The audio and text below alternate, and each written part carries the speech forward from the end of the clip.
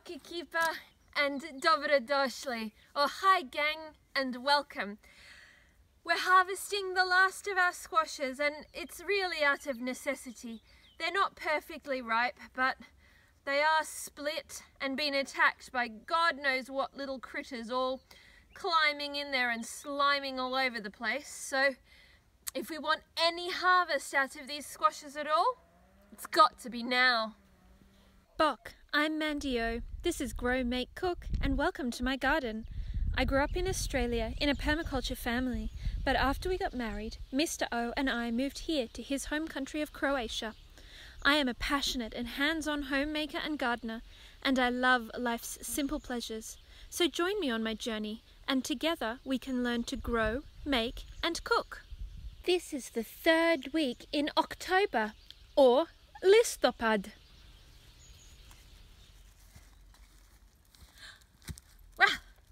Not about harvest, really.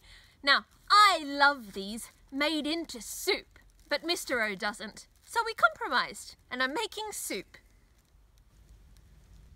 Now, if I'm bothering to make soup for one, I'm gonna really do it the way I like it.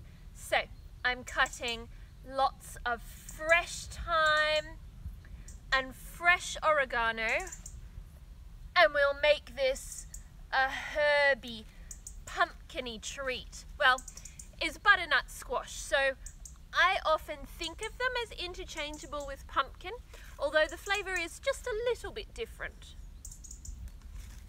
I'm also going to take a sprig of fresh rosemary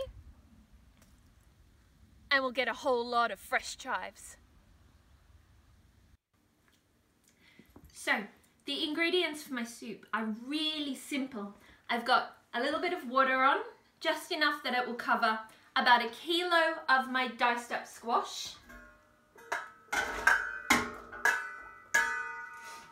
And I will also dice up at about the same size, one medium potato, a large onion, and I will chuck in a little bit of stock and then my herbs. Once it's all softened up and cooked together, I'm going to add a splash of milk. I'll show you in a sec. Now that it's nice and thick and all of my vegetables are soft, when you push a piece of pumpkin or potato against the side, um, you can see that it breaks up nice and easily. So now that that's nice and soft, we're going to switch from my stirrer to my masher. And as I mash, I'm turning this right down onto the lowest heat. I'm just adding a drizzle of milk just to cream it up nicely.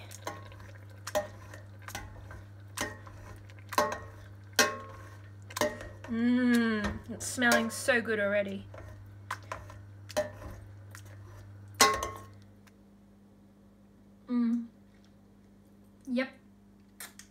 Like autumn to me. Just here are my leeks and I'm in the middle of doing something which is I guess akin to mulching. So instead of building up a mulch layer around my leeks in order for them to blanch.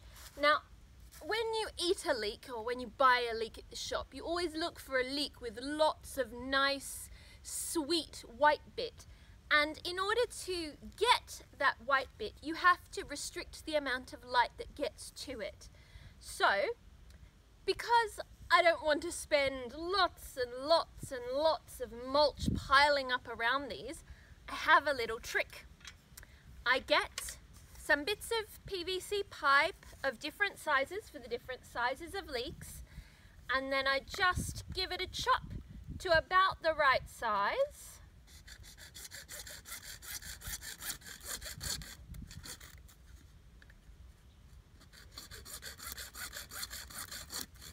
She says confidently.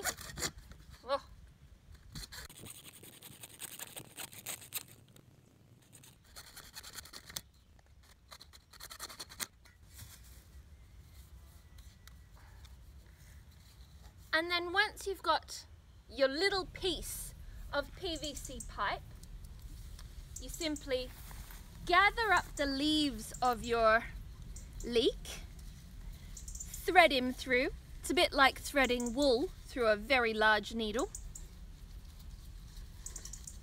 And then gently, gently down over the top so that then the PVC pipe pushed down a little bit into the ground now protects the entire bottom part of the leek from the light and it'll get nice and white and delicious. Got a few more to do though.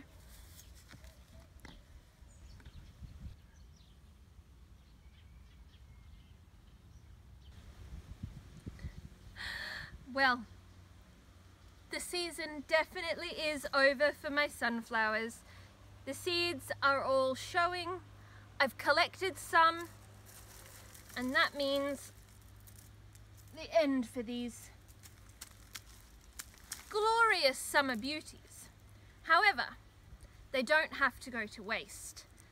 I've been pulling the heads off and saving them, popping them up on a little tray just up here for the birds. And then, I know it's not very pretty, but the birds don't seem to mind. I just pop them open with the seeds all scattered about on a tray here, which I've got some water nearby in a little bowl so they can come and have a drink. And these ones that I put out the other day, well, the seeds are mostly gone, so I'm calling it a success.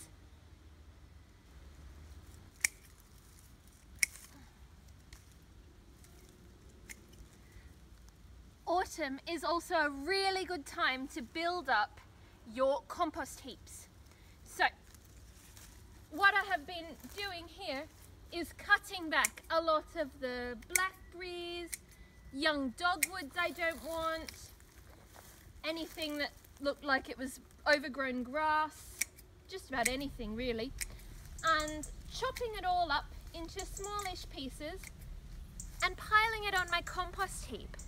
Now, the reason that it's so good to do this now is that over winter, when you're not coming out much and you're not using the garden, it's got all that time and a lot of moisture. So compost needs water in order to break down.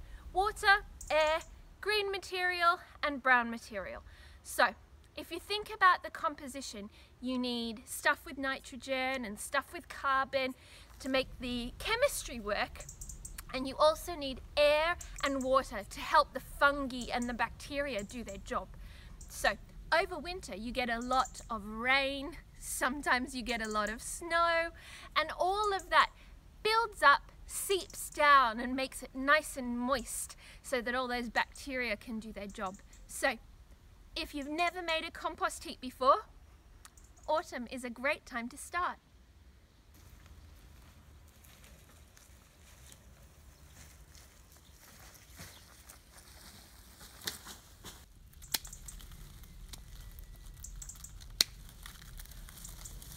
Oh, it's come over cold and cloudy, so I think we're to call it a day today. If you like what we're doing, please remember to like the video. If you're new to the channel, please subscribe. And if you want notifications, use the bell icon below. And until next time then, do widzenia.